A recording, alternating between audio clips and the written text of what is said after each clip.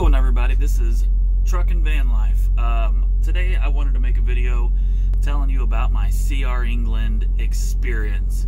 Um, when I got my CDL, I looked at the different companies and for some reason I thought CR England.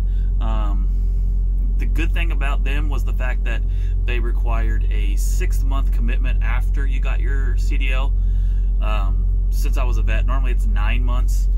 Um, so I thought six months, you know, that's not bad. I can do that. so I called them, got all the information.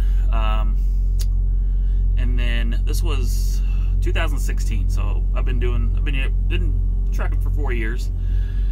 Um, so I got there. Well, first of all, they put me in a damn Greyhound bus. I'm 6'3", 270. Um, my knees were like dead when I got even halfway there. I mean, I was in pain the whole way. It, it, it was awful. Um, so when we got there, it was like a like a college dorm style of, of room. Um, there was eight guys in each room, so there was four bunk beds in each room, and let's see, each one had like a locker. So we had like a you know just like a standard high. It's a little wider than a high school locker. Think about like a locker room locker. Um, and went through training. The training wasn't bad. I mean, it was definitely training to the test. So they, so they wanted you to pass. Um, that was uh, 14 days, maybe, maybe a little less. I don't know. Um, I don't remember if they provided anything. Uh, I, I don't think they did. But so I, I brought I brought like 500 bucks to eat on. That was they had a bus that you could uh, take to uh, Winco. Was a, it's a store out out west. It was in Salt Lake City. That's where the CR England trains. Uh, and then one went to the Wal- to Walmart. Um, it left like every every 30 minutes or something. So that was that was actually pretty pretty nice. Um, so I lived pretty much off like ramen noodles and peanut butter and just junk like that. Um, but the training wasn't bad. Uh, ended up getting my CDL. All right. So, my CDL. They're like, "Hey, all right, your trainer's coming." I'm like, "Awesome! You know, this is going to be great. I'm I, I got my CDL. I'm going to just start driving. He's going to teach me all these things, and I'm I'm going to learn so much because I have no idea what I'm doing. I mean." Let's be honest. I, I drove around the block a couple of times and backed up onto some cones. That was about it. Um, so my trainer, he, my first trainer, he had a, a, dedicated route from Nampa, Idaho to Buffalo, New York. By the way, go to CR England, you will be teaming. It is a forced team situation. They call it training. It's a team situation. There's no, we made 28 cents a mile, split, 14 cents a mile. Not not not very not very good at all. But again, they paid for my CDL, so what do you expect? Um, but anyway, so my trainer comes and uh, he's coming down from Nampa. He calls me. We meet. Hey, cool. Sorry if I'm shaking. Uh, they're loading me now. Uh, so we get in there. He's like, we're in Salt Lake City. He's like, all right, you know, let's let's get in there, drive, and he's just kind of watching. He's like, doing good, doing good, blah, blah, blah. And for those of you don't know, if you go from Salt Lake to Buffalo, you go through eastern Utah and western Montana, which there is some big mountains. Um, and this is my very first trip in the driver's seat outside of a training situation. So I'm driving, I just get out of, of Salt Lake City heading into the mountains and my trainer, no no kidding, looks at me and goes, All right, I'm going back to sleep. I gotta drive tonight. Uh, just yell if you need anything. I'm like, yell if I need anything. If I if my ass is yelling, it's because we're falling off a mountain. Like this is my first time driving a semi truck. What the hell? He's like, you'll be fine. You'll be fine. Just just see if you need anything, just go slow, blah blah blah. I'm like, yeah, I'm gonna go. Slow. What are you, What is going on here? So he's back there sleeping, and I'm like puckered for hours, just dry, white knuckling, like holy cow, you know, driving up and down these mountains. It's like, what the hell?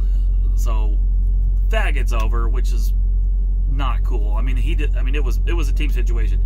He slept. I drove. Um, I slept when he drove, and he he drove for maybe like six to seven hours whenever he drove. So I, I did most of the driving, which I guess that was part of the training, as I did most of the driving. I never backed into a dock because he wanted to get back to his girlfriend or whatever quickly. So anytime we parked at night or anytime we backed into a dock to to to unload, it was a it was a drop and hook uh, to pick up, and then it was a live unload. But uh, yeah, he always backed in because he wanted to hurry up and get back. We were always on a tight schedule, so we had to get back. Um, the dude only ate Subway. We ate Subway every single day for like three weeks. Um, there was no other option. He was trying to lose weight, so but he got like a like a foot long chicken and steak with extra mayo and double cheese, and I'm like, okay, buddy, good luck. Anyway, so after all that's said and done, I go back to Salt Lake City to do the phase two training, which that's just another way of them to like keep paying you crap money, um, so they can like, you know, call it training, but it's really not. So I'm like, great, I'm gonna get another another trainer, which isn't a big deal, not a big deal. This guy was driving me nuts. Like he played Pokemon Go all the time. Like we had to stop several times because there was there was like a like a pokey something or other, like a pokeball or pokey.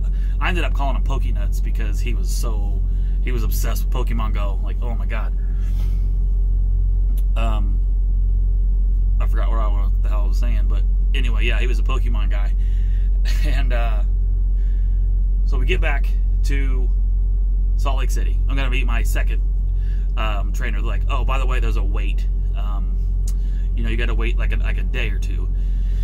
I'm like, okay, no problem. You know, I'll just kind of lay here and, you know, stay in these like prison style dorms with eight dudes to a probably 12 by 12 room, whatever. One one bathroom. So that's always awesome. Um, there was kind of like a they had a they had a big bathroom like the center of the like the floor. It was like a hall shower. So it wasn't bad. There was like eight eight or nine showers and like a big with like six or eight like uh toilets and stuff. So that, that was never an issue.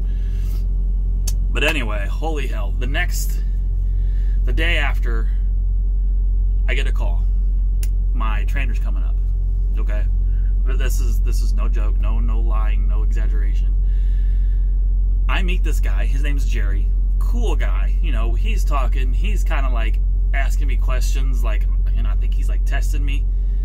Like he's like, you know, hey, you know what, what's going on here? What what do we do with this? What's with this? And I'm like, dude, I don't know. Like, you're the trainer. Um, I, you know, I wasn't. I was. I was nice about it, and I was kind of like, I don't know, man. Just, just tell me. You know, I I I, I want to learn. And he's like, what?